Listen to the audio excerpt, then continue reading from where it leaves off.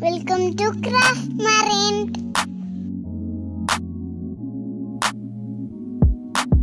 thank you